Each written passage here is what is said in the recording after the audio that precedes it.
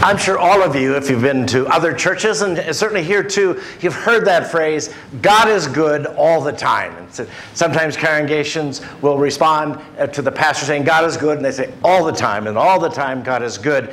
And it's a beautiful, beautiful affirmation of the goodness of God, except at times, right? God doesn't seem good to us. We're, we're, haunted by what happened yesterday. We're haunted by other kinds of tragedies that happen. Maybe some of you are going through a loss right now of someone dear to you.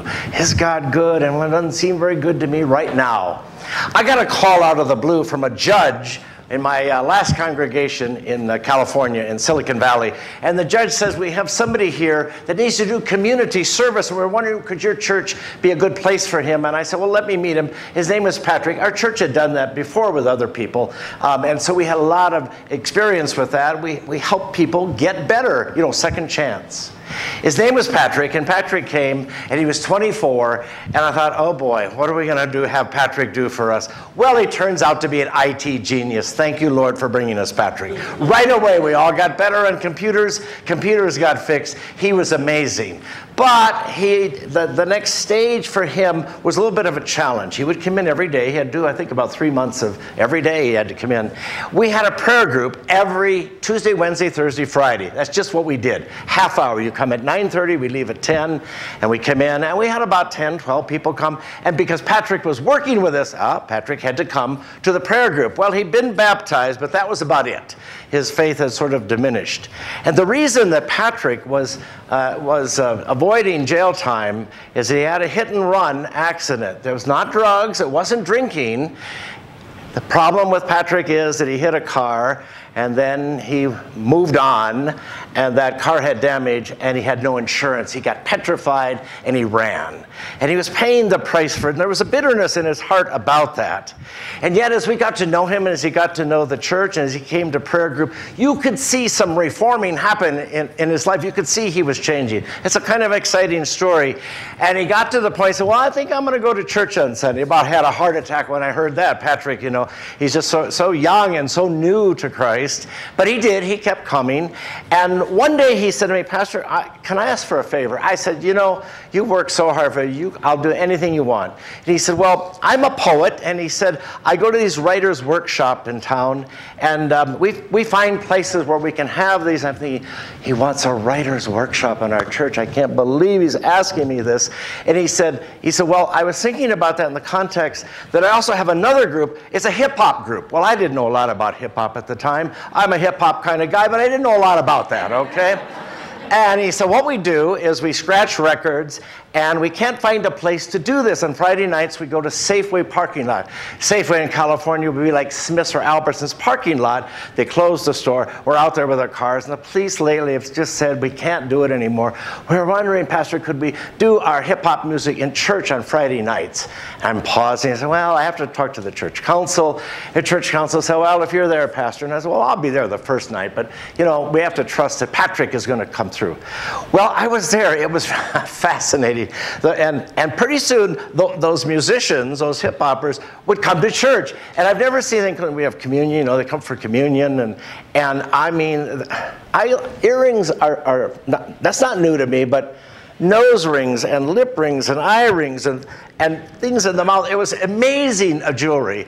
Um, and the hair color, purple was, was average. You know, it was purple and orange and every color imaginable coming up.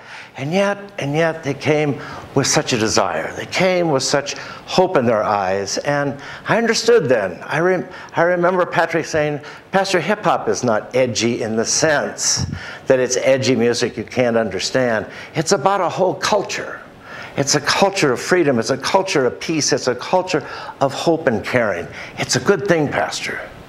And we were very sad when Patrick finally left. And the last thing he said to me is, as he went out the door, God is good all the time, Pastor. And I said, all the time, God is good.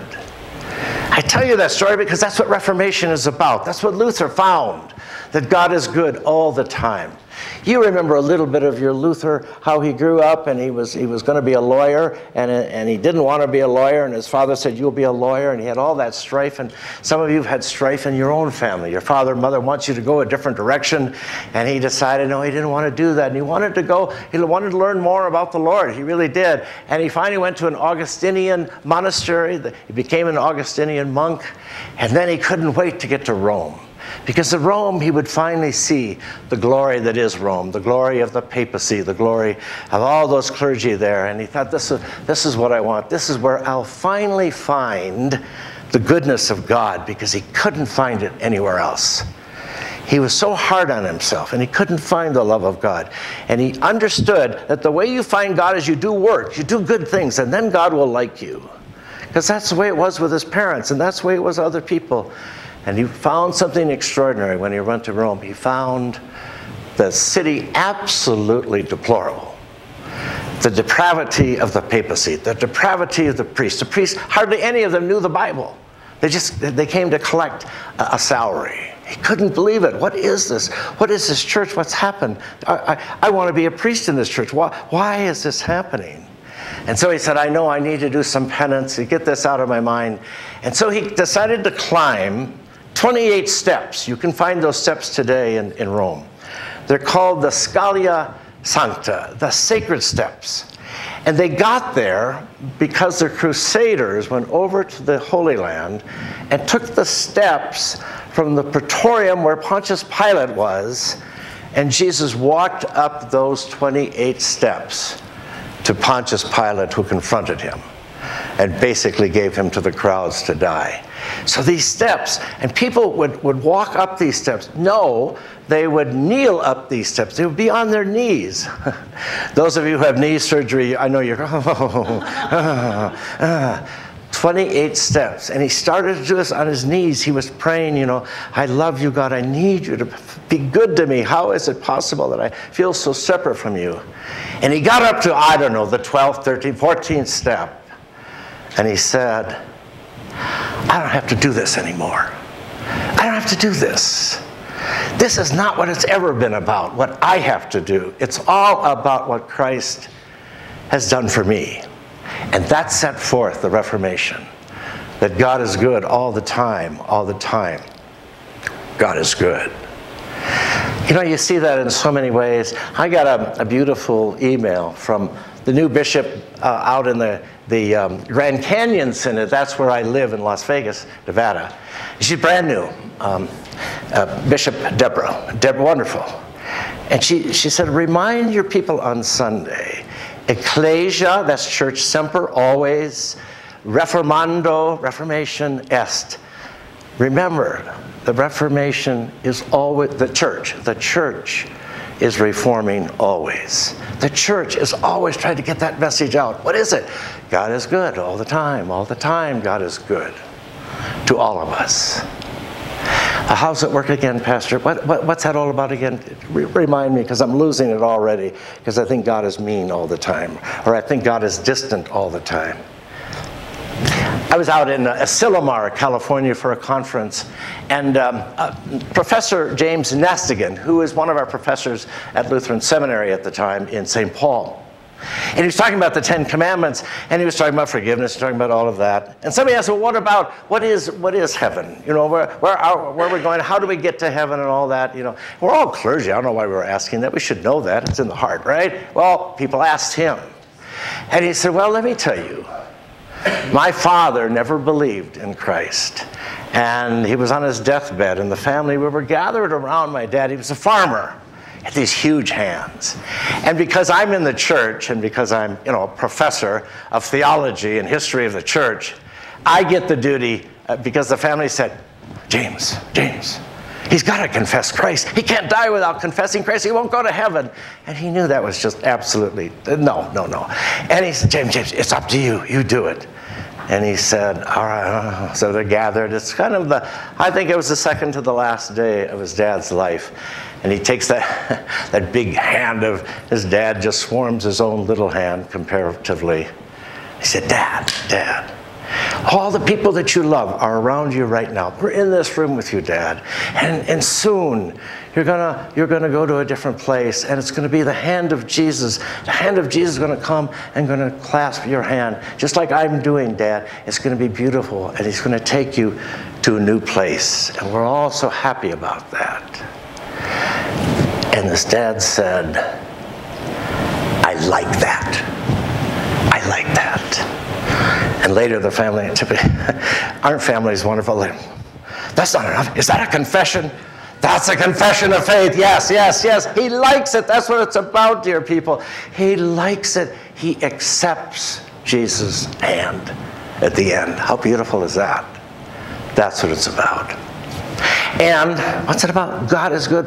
Can God be good in terrible communities like Compton, California? You betcha. That's the hip hop center of the West, okay? The East is different. The West, Compton, California, you probably saw, saw uh, growing up in Compton. I mean, it's a, a quite a movie, and that's uh, sort of a hellhole in some ways, but it's, a, and it's an amazing place, and I know you love hip hop. So, well, out of that, last year at this time, there was a beautiful, beautiful I think you can, you can come look at that. I think if I put it in the sunlight, sort of. This is Kelly Glow. It's hard to see, I'm sorry, but you can take a look at it when you come up for communion. Kelly Glow. She's a hip hop artist. She grew up in Compton. She came out of Compton, out of that, that same place as Tupac uh, Shakur and Notorious B.I.G. and all these people that you probably know or you've heard about. And she was a singer, and she got out of that hellhole by music and hip hop. She said, That's the culture that saved me. Not, not hurt me, saved me.